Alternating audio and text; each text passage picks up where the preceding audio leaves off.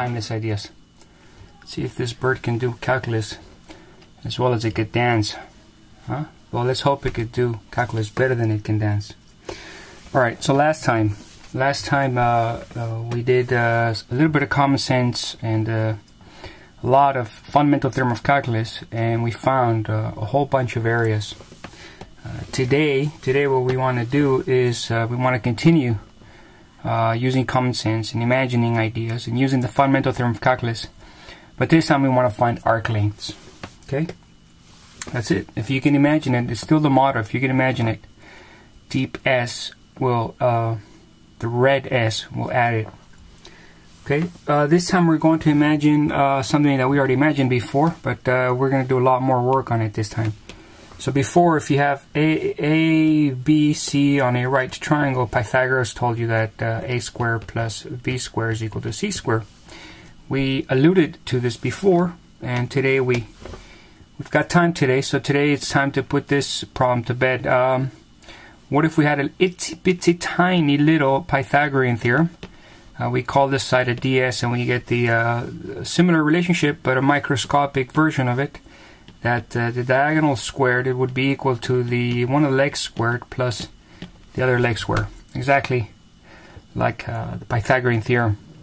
Right? And today what we want to do is exploit exactly exactly this idea. That's it. There's nothing else new. All you need is common sense and find arc lengths. Uh, the lecture is pretty much over, except that uh, we probably want to do a few examples together. Um, well, that's all the explaining there is. That's all the background there is today. Uh, nothing new. All we have is common sense and uh, that DS uh, idea. All right, so let's start. Off, let's start off with a plain example here. Very easy one, standard one, almost obligatory one, because all textbooks do this example. If you have some curve like this, y equals x uh, to the 3 halves. Let's go from 0 to 4. Let's find out how long is this curve. We want if we could take a, imagine taking a measuring tape curving it the same way and we want to know how long is that. That's what the fancy name for fancy name for that question is arc length. We want to find the arc length. Okay? So we use the standard idea from before. We make a small little tiny triangle out of that right triangle and we label the sides to say hey this is ds this is uh, dx and this is uh, dy a little bitty tiny distance this way dy a little one this way dx an inclined one ds and we write the Pythagorean theorem statement which would say that uh, let's go with stay with blue why not uh, let's we would say that ds square is equal to dx square plus dy square so you got a lot of differentials here. Uh, the thing to keep in mind is that this is how x and y are related for this curve. So uh, let me think. Uh, we're going to need that in just about two seconds. ds would be equal to the square root of dx squared. You might. Some people might put parentheses here. if you don't put parentheses, it's understood that they have parentheses. It's not the d and the s. It's one item, one differential. Uh, they're not separable per se. It's one symbol. Anyways, uh, we gotta do take care of business here. dx plus dy. Um, maybe I can do it right here. Let me think. Uh, no, I'll do it over here on on another page. Let me copy this. This is what I need. I need that, and I need that, and I'll copy it. Let's go with a clean page. Let's get to work here. Uh, so let me think. So uh, here I'm going to go with dy. I'm going to slap a d on both sides. Uh, so I'll slap a d here on that side and I'll slap a d on that side. And what that will turn into would be a dy is equal to 3 halves x, subtract 1 from it, 1 half, and do the dx. And then I'm going to need to substitute dy there, but not so much dy. I, need, I actually need to substitute a dy squared. So I'm going to clean this up a little bit, just do a little bit of more grunt work. I'm going to uh, square both sides and observe what happens when I square both sides. So if I square both sides, I get the statement that dy square is equal to uh, 9 over 4x dx square. Again, notice that sometimes people put the parentheses there, sometimes they don't. It's because it's considered to be one symbol. Uh, even though it's two letters, it's considered one symbol, dx. I'll leave it like that so we can get used to it. And that's gonna, going to go where? That's going to go right there. Um, we're going to substitute that right into our formula here. And there's nothing else going on here. It's just common sense, a little bit of algebra. Sometimes there's more algebra. Actually, sometimes there's a lot more algebra. Even it, on the same problem, if you do it, if instead of replacing the dy, I had found solve for dx here, I could solve for it and then substitute the dx there. The algebra could be you know 20 times harder. It just depends on the problem. So sometimes you want, you might want to try substituting the dx or the dy or sometimes the dx. See how it goes. Uh, let's continue with the way we did it here. So this is dx uh, square plus. Yeah, I forgot. Uh, sometimes I'm going to leave these parentheses off just to get it used to it. Um, it's the same thing, dx square. Or in this case, I'll just be consistent. Alright, and then I think I could pull out a dx square, dx square. I could come out of the parent out of the square root. That would leave a 1 plus a 9 fourths x. And that would be, I don't need this so long. And that would be times a dx. See the dx squared and the dx squared? If you factor it out, that leaves a 1 and a dx, and the dx comes out. Just algebra. Of course, most books will have you start off right on this spot right here they have some formula, you know, they'll call this formula ds is equal to uh, 1 plus, uh, you know, y prime squared uh, dx. This is the formula that most books will have. Uh, they don't even tell you a lot of times uh, where it comes from, or they don't do it. Uh, some, whatever. I don't judge. Whatever. But I think this is a nice way to do it. Actually, I do judge. Them. No, just kidding. Maybe not. But um, let me think. Well, gotta come as it is, man. truth will set you free. I think this is a nice way to do it because uh, can't see it. There you go. Um, I think this is a nice way to see it because you see where it comes from. So often I, I won't jump right to the step. Maybe sometimes I will. I don't know. But I think it's nice to to uh, show all the steps this way, using nothing but common sense. Anyways, that's that's my DS. I'm gonna uh, take this guy um, let's uh, group it, copy it, and go back to finish our work here. Uh, that would go here. And now I'm ready to do the uh, adding. All, from here to here is just algebra from the other page. How are we going to do the adding? That, of course, the same way we always do it. Um, I'm going to go with red for emphasis here. Red and blue, timeless combination right here. Uh, and now I observe my limits. I need x's. Uh, so these these are my x's. They stop and start where? They stop at they start at zero. Stop at uh, four. And now, how are we going to do that integral? I'm going to go with the u sub. I'm going to say u is equal to one plus nine fourths x. That would mean that du is equal to 9 fourths dx, and that's my dictionary and now I will convert my integral um, me think that would be u to the 1 half and the du is worth or sorry the dx is worth 4 ninths du du 4 over 9 and I'm going to convert my limits here why not observe what happens when you convert the limits you take the 4 put it in the dictionary for x 4 that means that u is 10 now look at the zero. This is x equals zero. These two go together. Put it into the dictionary, x equals zero. That makes u equals one. There you go. Uh, let's scroll down, give us some more room. And let's finish the work here. This would be 4 over 9 uh, times u to the 3 halves times 2 thirds evaluated from 10 to 1 meaning that this would be 4 ninths times uh, 2 thirds times 10 to the 3 halves minus 2 thirds times 1 to the 3 halves. And of course, nobody's saying anything. You can't see that. There you go. That's how we do it. Pretty easy, huh? This is like the easiest example there is for arc lengths. This is just like level 1, level 0. This is what all textbooks do, first example. Because it's so nice when you take the dx and the dy, you how we did the math over here. This turns out so simple. It's just a degree one things, degree one polynomial, so you can easily make a use of. That's why uh, this turns out to be probably the easiest example in the world. Okay, because this piece right here, the integral becomes easy. Very, very, very often, the integral here becomes more than any of us can answer. The greatest fool can ask more than the wisest person can answer about integrals. Meaning, some integrals get crazy real quick. Okay, but that one's pretty standard. I could say one more word about this. I could say, hey, what if we had done it the other way? Let's contemplate that idea. You guys want to contemplate? If, are you in a contemplating mood? Well, no.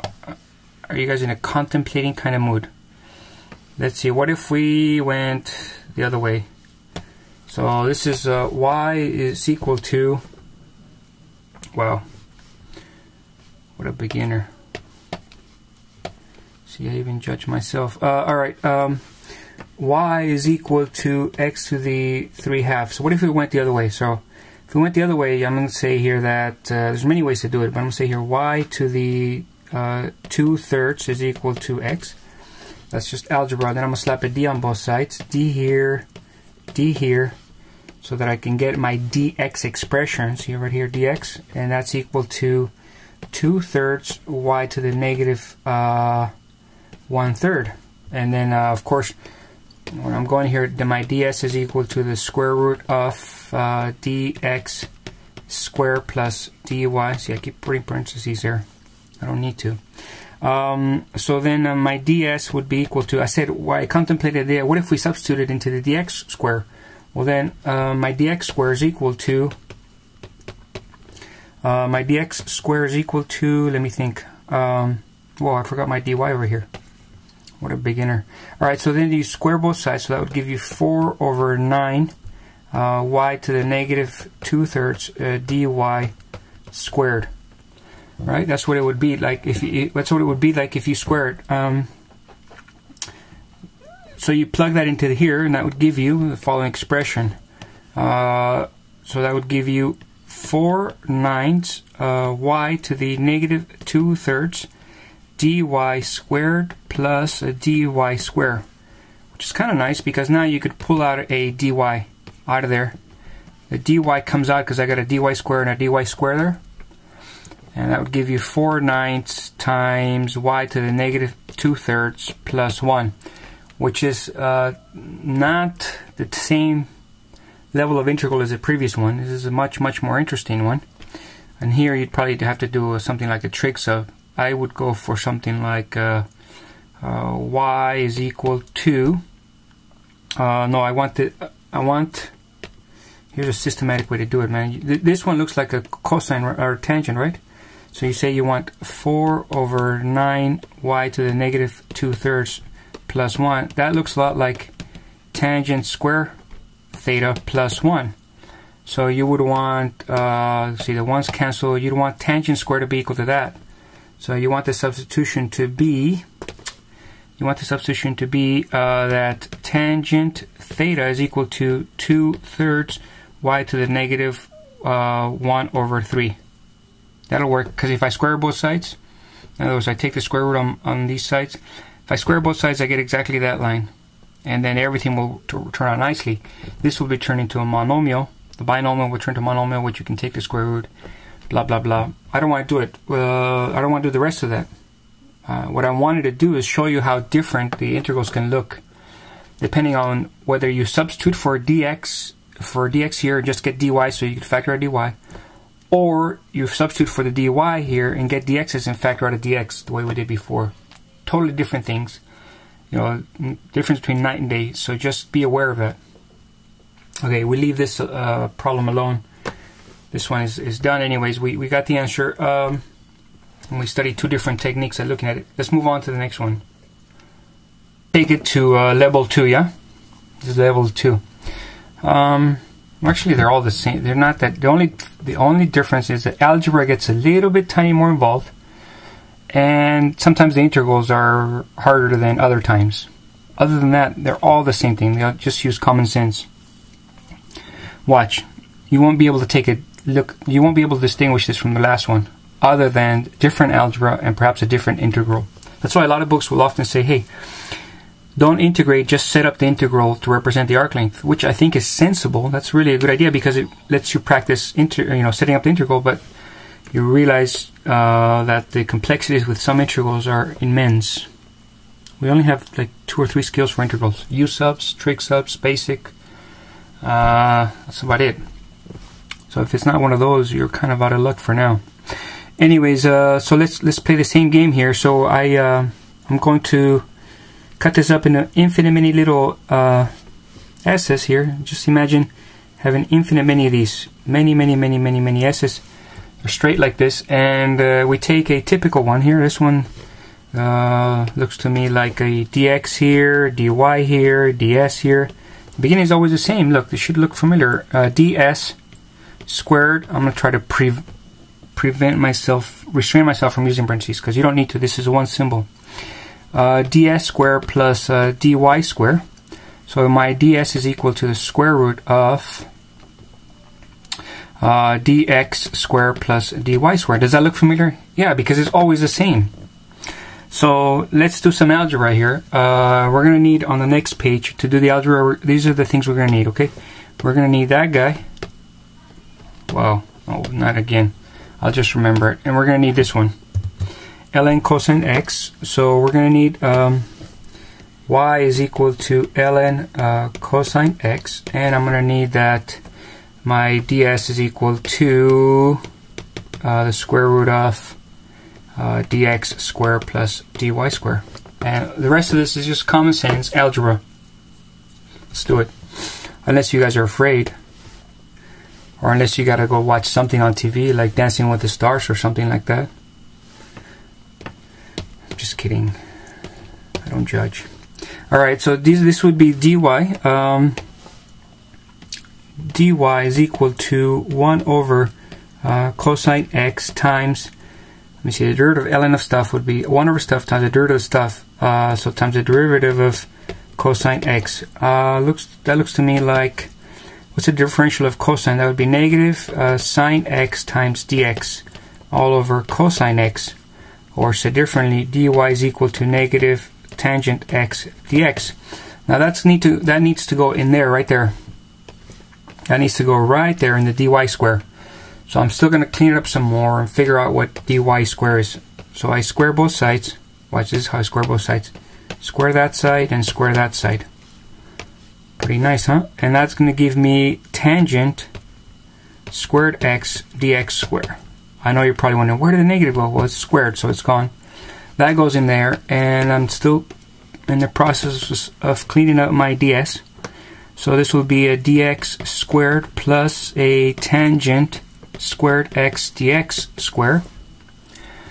Nice, because I see what I did is I got rid of my dy, just one language, x language, all x's, so that I could pull out the x out of out of this radical. That would become 1 plus a tangent squared x, and the dx comes out. And again, this is where most books will tell you to start. They'll tell you to start with 1 plus you know, 1 plus y prime squared dx. Most books just tell you to start here. I don't, I, okay, whatever. I like to start it this way, so, um, and nobody sponsors MathHands, man, so I could do whatever I want. I like to start it this way, so this way, this is the way it's gonna go. Um, now what? Alright, so 1 plus tangent squared. Isn't that something famous? From the famous sheet? Where's my famous sheet? You know the one. Not that one. Not that one. Not that one. Okay, one more shot. I'll get it one more shot. Right there. Isn't that something famous? What's tangent... Oh, no, no, no, no, no. What's tangent square plus 1? Secant square theta, right? You remember. So, let's see. What will that do for us? Uh, this will turn us into a secant. So ds is equal to a secant x uh, dx and that's kind of nice and now I'm ready mm, go back uh, this one turns out to be uh, secant uh, x uh, dx after all that algebra from here to here just a lot of algebra but now I'm ready for the magical stuff man the magical thing that the jewel from the 17th century what was the jewel from the 17th century? Right here, the jewel, the uh, one of the crowning intellectual achievements of mankind. And I love that one. Comes now. It's time for that Super S, and then I have to. Whoa, whoa, whoa where was that? Right here, Super S, and now I need to observe my limits here. These are X limits. So I'm looking at X. Uh, shoot, I forgot to give you the X's. Um, usually that's got to be given in the problem, but today I'm kind of being a beginner. So I'll go from 0 to uh, pi over 4. Yeah? 0 to pi over 4.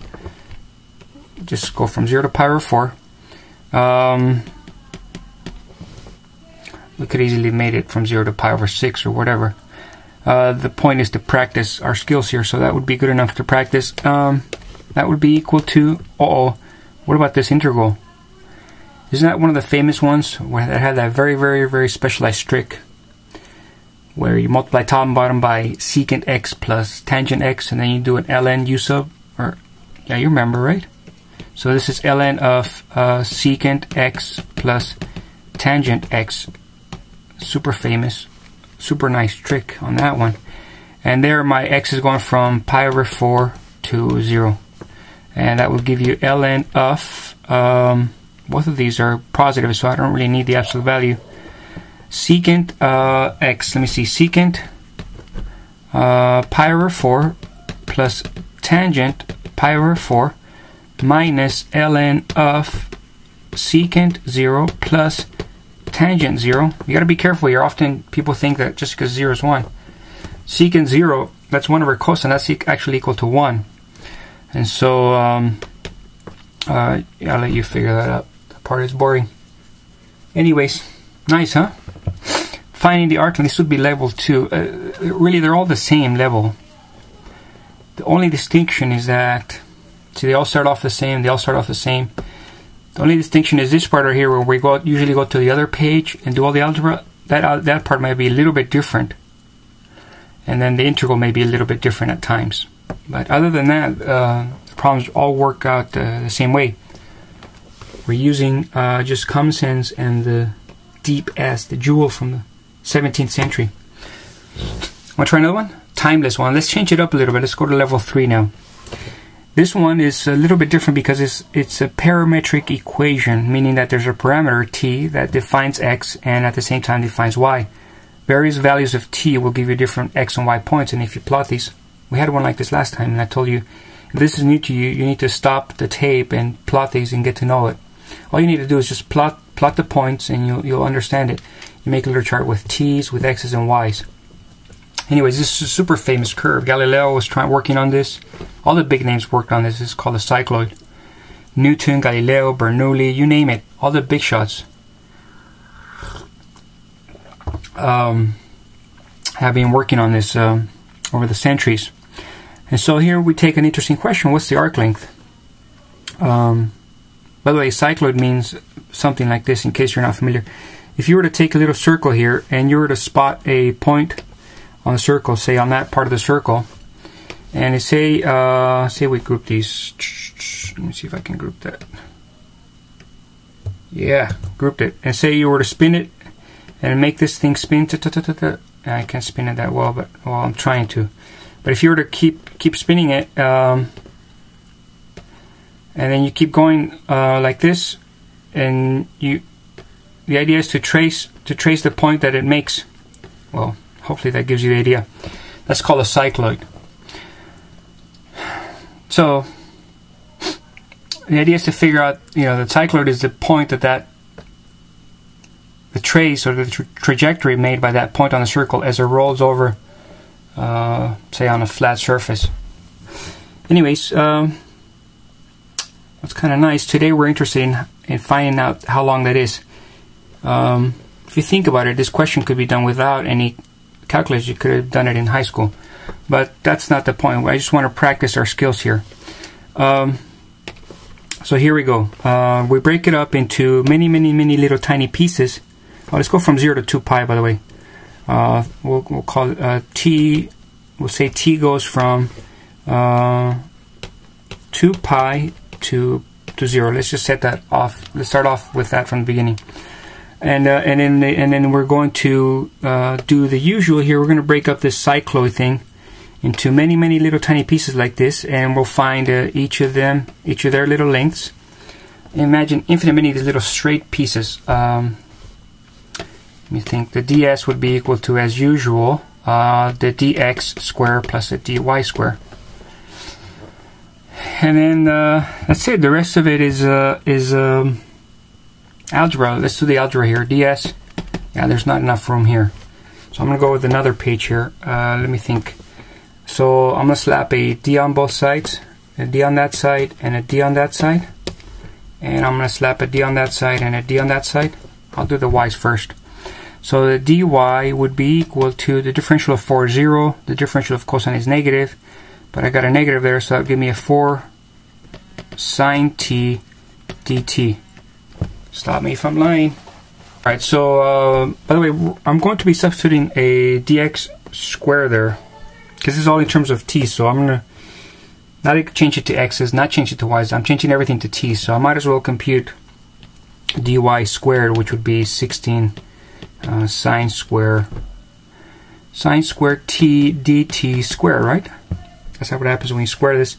Right, let's let's let's leave that alone for a second. Let's work on this side. Uh, the dx is equal to 4 dt minus uh, 4 cosine t again dt. And I want to square both sides. Uh, so here's how I square both sides. I square that side and I square that side. Notice here I have a binomial, so I gotta do the FOILing thing. Uh, I gotta distribute that carefully. So I'll be I'll get the dx squared plus a 16 minus 4 times 4 is 16 times 2 is 32. Uh, 32 cosine t's. Da, da, da, Let me think, think, think. Plus 16 uh, cosine squared t. And then a dt. No. What a beginner. No room for the dt. So so then uh, this will give me that times dt. There's my dx square and there's my dy square. Now, we concluded earlier that my ds was equal to the square root of dx square plus uh, dy square. So I've got my dx here, I've got my dy square here. Put them this one here, put that one there, put that one there. The dx squared and dy square. Am I using fancy stuff? No, just common sense. Plug things in there. a little bit of algebra just to uh, make it look impressive, but there's nothing going on here. Wow, this is a miss. Let's do it. Uh, 16 minus 32 uh, cosine t plus 16 cosine squared t. That was my dx part. Um, cosine squared t huh. plus 16 sine squared t and all that has a dt square which of course you know, you know what I'm going to do with that dt square. It's going to come outside the radical as just a plain dt, same as usual. But I think I clean up the inside as well. Because look at this. Uh, doesn't this become... I got a 16 cosine square and a 16 sine square. I can exchange that. The sine square plus the cosine square is equal to 1. So this becomes just 16. Um, this whole thing just becomes 16. And that can be added to that one changing my ds to be equal to 16 plus 16 is 32 minus 32 cosine t. Ooh, I'm starting to like this problem a lot. Nice problem. Uh, 32 minus 32 cosine t dt. Nice. And then, you can pull out the 32. 32 is 16 times 2. That means 16 times 2. What is that? 4 times the square root of 2 and then all that times the square root of uh, 1 minus a cosine t dt. You can't see it, but wait, there's more. See, this is a binomial, right? 1 minus cosine, you can't take that out of the square root that easily. And you think, darn it, I wish there was some way that we could exchange this binomial for a monomial. Then you start to think, let's look at our identity sheet which I'm going to get the right one in the first try. Identity sheet, where are you? Identity sheet. Come here. Which one are you? Right here. Bam. I told you. See why they pay me? Right here, 1 minus a cosine something, right here. This one would tell you that twice uh, sine square theta would be equal to 1 minus a cosine 2 theta. Or if you cut both of these angles in half, it would tell you that 2 times sine square x over 2 would be equal to 1 minus uh, cosine 2 times x over 2, which would be equal to x. These two statements say the same thing. All you gotta do is substitute, uh, if you want to see it this way, substitute theta is equal to x over 2, and that would get you there. This is exactly, exactly what I need. Uh, 1 minus a cosine x binomial, I can exchange it for a monomial. Yeah, based on that, that identity right there. Power of exchanging binomials into monomials. Man, that stuff, that stuff's for the ages. Uh, so, I'm right here. I'm ready to make my exchange here. Uh, this one can be exchanged for uh, ds is equal to 4 times the square root of 2 times uh, the square root of 2 times uh, sine square t over 2, all that times a dt. Again, we need to extend this. Got your back. I can extend it. And then that cleans up nicely so that ds is equal to 4. I got the square root of here, square root of that, 4 times 2 times sine t over 2 times dt. Or ds is equal to 8 times sine of t over 2 dt. Yes or no? Um, and now, and now I'm going to take this guy right here. Um, I'm just going to take this one right here and group it and copy it and go back to where I was here. Bam, right there. Um, that's where that's where I left off last time. So, um, like I said, this process is always always the same except for the algebra between here and here. That was the other page. That's uh, this page where we do all the algebra. But other than the algebra, man, they're all they're always the same. And then we use the super jewel of the 17th century fundamental theorem of, of, calculus to take care of business here. My t is going from 0 to uh, to pi, so that becomes equal to 8. The antiderivative of sine would be cosine. Derivative of cosine would be negative sine, so I got to do a negative there. Uh, t over 2, and also I have to divide by 1 half. So I have to divide by 1 half, and I'm going from um, 2 pi to 0. So that would give me negative, uh, 16. Um, times uh, 2 pi. Cosine of 2 pi, that would be, holy macaroni, cosine of 2 pi minus cosine of 0. What would that be? Are you guys afraid? Negative 16, uh, sorry, cosine of 2 pi over 2, 0 over 2.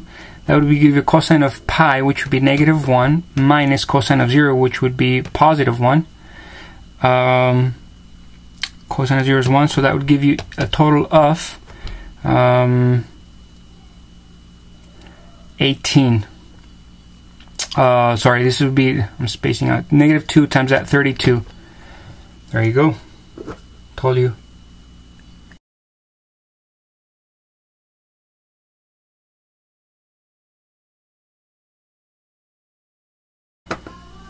Alright, so uh, here's a little story for us. Suppose you've got a bird here flying, and uh, the bird is flying and flying, and uh, flying, and flying, flying, flying, flying, and then at one point or another, while the bird is flying, it drops something, and uh, the minute it drops something, whoa, it drops something and the bird keeps flying and flying and flying, but the something that it dropped keeps dropping, and then the bird keeps flying and flying and flying after it drops something. Now here's a question for you. Suppose that the thing that it dropped was initially dropped at 169 feet above the ground, and it took a trajectory defined by this curve. Uh, the question is, what is the total distance traveled by the something that the bird dropped? Pretty interesting, huh? This is what most books call application problems. And I call the armpit of mathematics. But whatever. So uh, suppose you drop something, and then you want to know oh, what's the distance traveled by the total trajectory uh, by the item dropped by the bird. So, so the really, just the only thing different here is the story, but the uh, process would be pretty similar. So let's make this our final uh, example here uh, for today. I, I, may do one more, but I'll, I'll keep that one on a separate file, uh, separate video because I think this video is long enough already. Uh, you, you, probably have to take a bathroom break by now. Uh, so, so we'll make this our little DS here. make this a DS and everything that we always do is still the same thing. The ds is equal to the square root of the dx square plus the dy square. And then uh, we go to another page and try to work out the details for this uh, for this ds. Um, so so there, there's our dy here. So let's slap a d on both sides. A d on that side, a d on that side, and what does that leave us with? Leave us with leaves us with dy is equal to negative 2 over 36 x dx. And that's going to be substituted into our famous common sense formula dx squared for plus dy squared, a tiny little micro Pythagorean theorem. And again, you have a choice, substitute the dy uh, or uh, substitute the dx. Uh, since the dy is already solved for here, I'm going to go with that. Hopefully that integral is easier. dy squared would be 4 over 36 squared x squared dx squared. That's what's going to go right there for the dx square. Sorry, for the dy square. That will make my ds be the dx squared plus the dy squared. That would give you 4 over 36 uh, squared x squared dx squared. dx dx, I could pull that out. So my ds is equal to uh, the square root of 1 plus 4 over uh, 36 squared um, x squared uh, dx. And at that point, you've got yourself a nice little uh, uh, trig sub integral. So I will make my, in, I'm to make it, I'm to go with grade this time. I'm to make uh, x be equal to, I know it's a tangent, tangent theta because 1 plus tangent square is famous all I have to do is fix this. I don't want that 4 there, so I'm going to put a 2 on the bottom. So when I square it, I get a 4 killed. I don't want that there, so I'm going to put a 36 on the top. So when I square it, I get 36 square. That would make my ds be equal to uh, 1 plus tangent square theta. Uh, after I've substituted everything in there, these uh, coefficients will kill each other.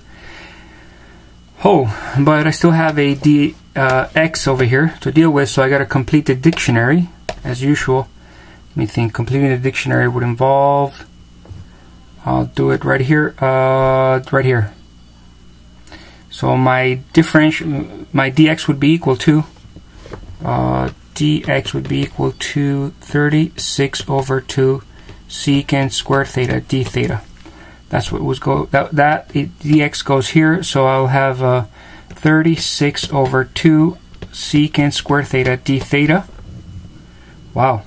How interesting. And then, um, and then what? Keep going. Don't be afraid. So then your ds would be equal to tangent. So I got 36 over 2. Well, isn't that just uh, 18? So I go 18. This part is just secant, secant square, but take the square root. I got another secant there, so I got secant to the third theta d theta. Now I'm good. So so I go back here and I get I simplified after all that algebra the ds is equal to 18 times secant to the third theta d theta.